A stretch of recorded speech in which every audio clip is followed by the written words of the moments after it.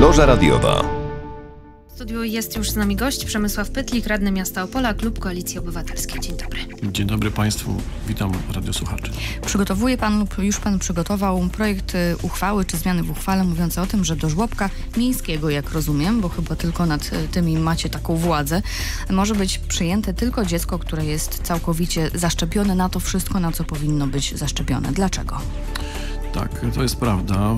Przygotowałem taką uchwałę, ale jest to skutek tego, co już zacząłem na początku tego roku, czyli interpelację napisałem odnośnie punktacji do przyjęć do przedszkolów i do przedszkoli i żłobków.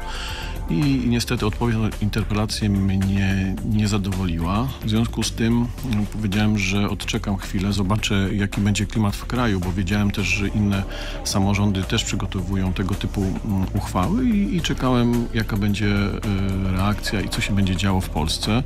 No, skutek tego jest taki, że e, kilka miesięcy temu Wrocław przyjął taką uchwałę jednogłośnie. 30 radnych było za, jeden się wstrzymał, więc to już pokazuje świadomość radnych nad problemem.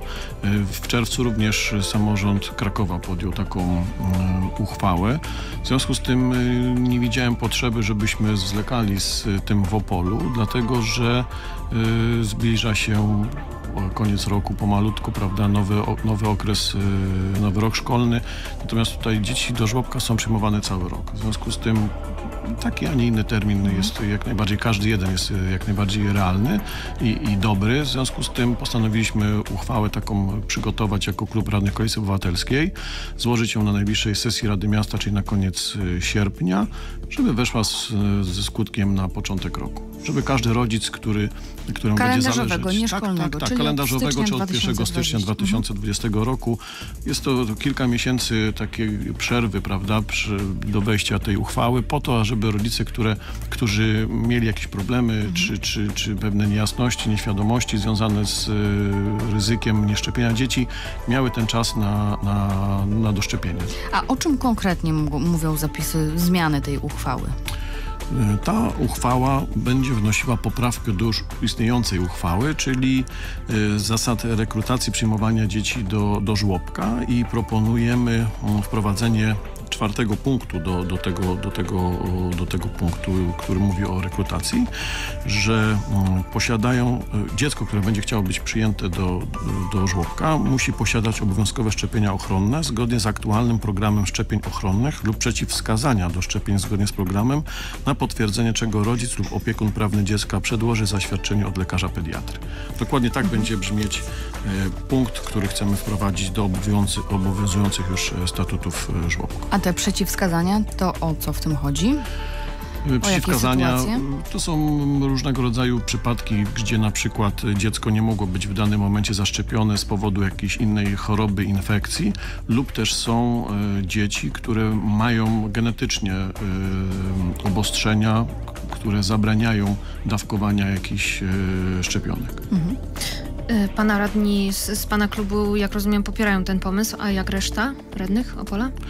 E, jeżeli chodzi o resztę radnych, e, zdążyłem już zorientować się, że część jest przeciwna takiemu, takiej uchwały. Jest to dla mnie niezrozumiałe. Mam nadzieję, że na komisjach, które, które będą opiniować tą, ten projekt uchwały, sobie wyjaśnimy pewne e, niejasności, które być może są, istnieją w nieświadomości tych radnych i liczę, że argumenty, które przedstawimy, dane statystyczne, które są zatrważające w, w naszym kraju odnośnie dzieci nieszczepionych, przekonają do tego, że ta większość będzie, bo przecież dyskutujemy to tu o zdrowiu. konkretnie któryś klub przeciwko, czy z różnych klubów różni radni? Jak to się rozkłada? Znaczy, czy tutaj przynależność partyjna czy klubowa ma znaczenie? Przez wakacje nie miałem kontaktu bezpośredniego mhm. takiego z radnymi, natomiast zdążyłem się zorientować poprzez y, artykuły prasowe, gdzie, gdzie prasa tutaj nasza lokalna y, opisała mój pomysł i były wypowiedzi między innymi y, radnej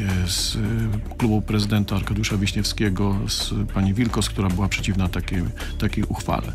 Mam nadzieję, że, że damy się wszyscy razem przekonać, że jednak zdrowie naszych dzieci jest najważniejsze i y, otoczenia, które, które, które, z którego korzysta. Przemysław Pytlik, radny miasta Opola, klub Koalicji Obywatelskiej. E, panie radny, co w ogóle skłoniło pana do zajęcia się tym tematem? To, że inne samorządy wprowadzają takie uchwały, wprowadzają takie kryteria do żłobków? Czy tym programem już y, się interesowałem prędzej. Y, to, że samorządy takie zaczęły wprowadzać te uchwały, to tylko mnie zmotywowało do szybszego działania, a, a głównym takim nurtem to są dane statystyczne, które, którymi się często interesuję i, i w różnym zakresie sprawdzam. I, i widzimy od y, praktycznie od 2010 roku no, taką tendencję dla mnie niezrozumiałą i, i braku logiki do nieszczepienia dzieci. I, I w każdym roku ta liczba dzieci wzrasta. Mogę tutaj podać kilka takich danych statystycznych, gdzie na przykład y, dwa lata temu, czyli w 2017 roku liczba nieszczepionych dzieci to było 30 tysięcy. Rok... Tu, tu mówimy o całej Polsce, tak? Tak, tak, tak nie mówimy o mhm. W rok później, czyli w 2018 już to było ponad 40 tysięcy, a w pierwszym kwartale tego roku, proszę sobie wyobrazić, jest 42 tysiące dzieci Czyli niezaszczepionych. W pierwszych trzech miesiącach tego roku już mam taką liczbę taką, jak w taką całym liczbę, 2018. Tak, uchylających się od y, obowiązku szczepienia. A mamy dane dotyczące Opola? Jeżeli chodzi o dane samego Opola, to takimi danymi nie dysponuję, dlatego że nasz tutaj sanepid y, powiatowy ma dane dotyczące całego regionu, czyli całego powiatu, powiatu w mhm. którym on y, zawiaduje i ma kontrolę działa. I jeżeli chodzi o takie dane, to dysponuje. Jest to na przykład y, dzieci z rocznika 2017, to jest niemal 200 dzieci, które nie zostały zaszczepione, ale tu podkreślam, w całym y, naszym powiecie. powiecie tak? Nie mamy, nie, nie mamy mhm. rozdziału na, y, konkretnie na powiat i, i nasze miasto. Stąd y, no, te dane nie są takie dokładne. Przygotował Pan projekt uchwały mówiącej o tym, żeby dziecko zostało przyjęte do żłobka publicznego, musi mieć te szczepienia obowiązkowe y, wykonane. Tam jest taki zapis, jak już mówiliśmy w pierwszej części programu, że jeżeli to było niemożliwe z różnych powodów, czy genetycznych, czy, czy infekcji, to jest ok. I że rodzic y, składając wniosek o przyjęcie do żłobka musi przedstawić zaświadczenie od lekarza, tak, że te szczepienia były wykonane. Więc nie książeczka z wpisanymi tymi wszystkimi szczepieniami, tylko zaświadczenie od lekarza, tak? Tak, jest to łatwiejsze. Po co kserować taką książeczkę? Jest to kłopotliwe, ma wiele stron.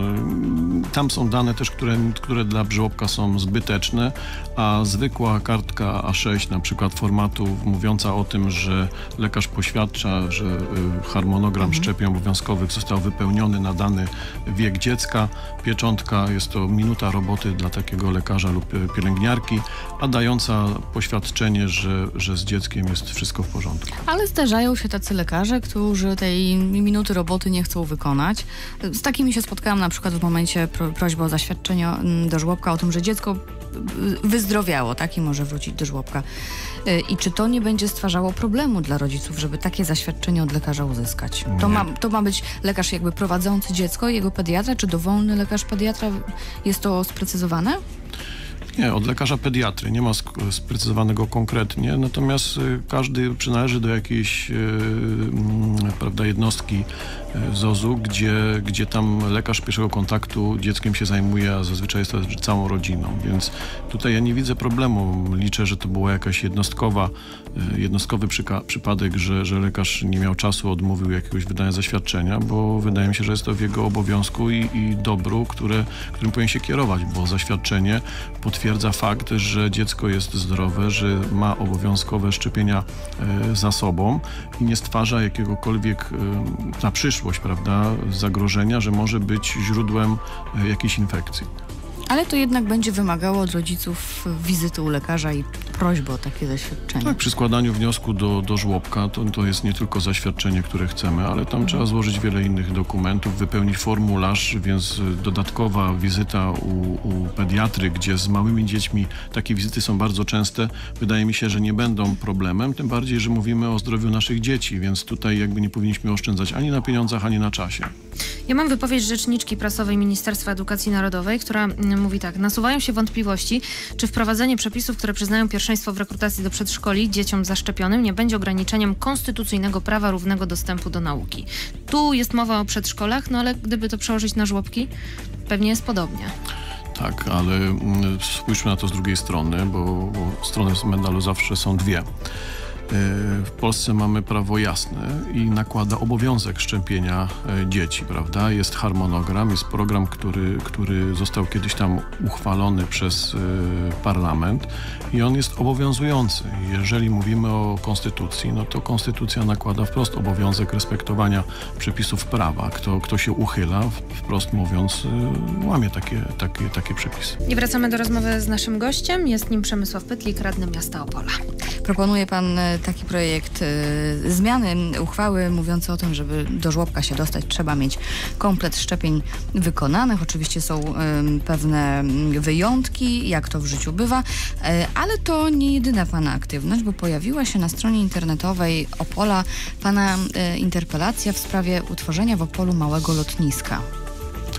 Tak. Nie za duże plany? No, mówiąc lotnisko, mamy wyobrażenie terminal, pasy startowe, mnóstwo wielkich Radom. samolotów. Może dla niektórych też i Radom przed oczami wtedy staje. No w kontekście Opola tak by mogło być. Tak, natomiast jest to mowa o czymś innym. To jest coś, co mm, Czesi, nasi południowi sąsiedzi od wielu lat realizują.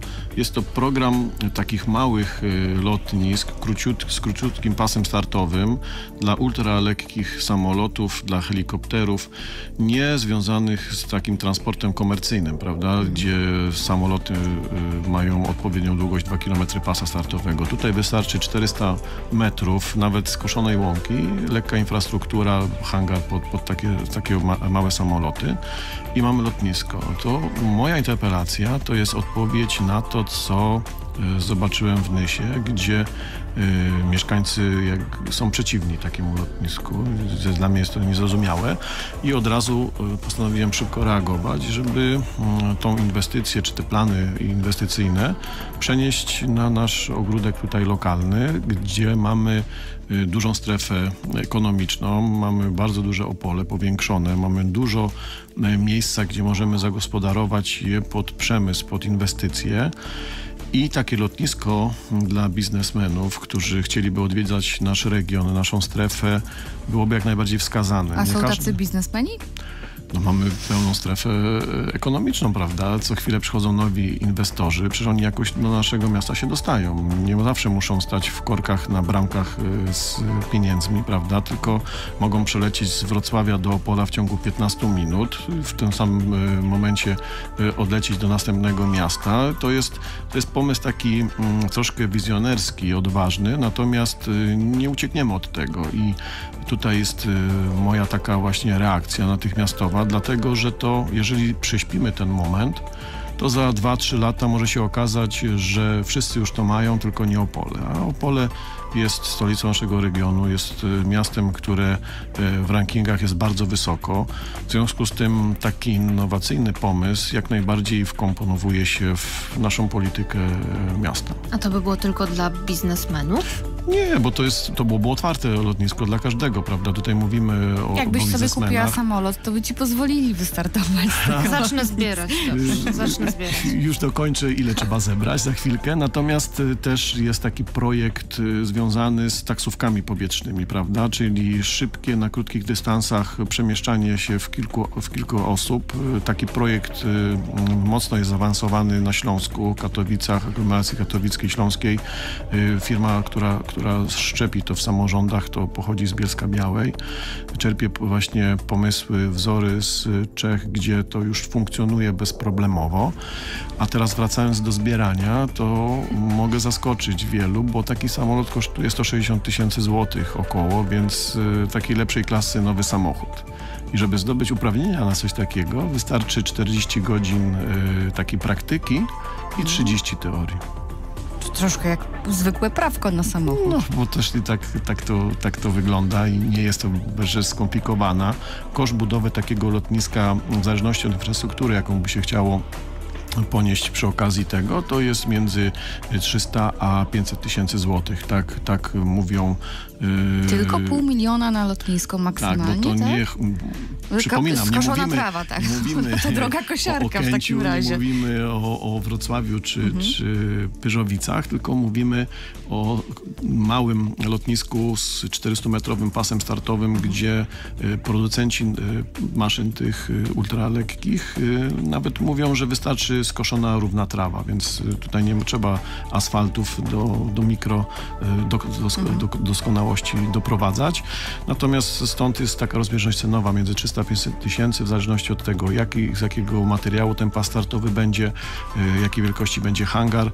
A przypomnijmy, że przy okazji budowy takiego lotniska tworzymy pewną infrastrukturę i środowisko do kolejnych inwestycji. Jesteśmy takim magnesem, gdzie na przykład y, ciągle przegrywamy, jeżeli chodzi o turystykę. Tak? Musimy wsiąść w samochód, w pociąg, jechać do Wrocławia na lotnisko, jak chcemy gdzieś na wakacje polecieć, czy w drugą stronę do Pyżowic, to trwa ponad godzinę. Do tego musimy być dwie godziny przed odlotem, więc tak naprawdę Opolanin traci około 3-4 godzin na to, żeby się dostać i polecieć z lotniska Wrocławia czy Katowic. Więc ja uważam, że ten y, etap budowania lotnisk takich komercyjnych y, przespaliśmy y, tam naście lat temu. Dlatego uważam, że w tym na dzień dzisiejszy, kiedy otwierają się perspektywy takich malutkich y, sieci lotnisk w całej Polsce, powinniśmy być pionierem i jak najszybciej w takie coś wejść. A gdzie takie lotnisko może powstać? O tym porozmawiamy za chwilę.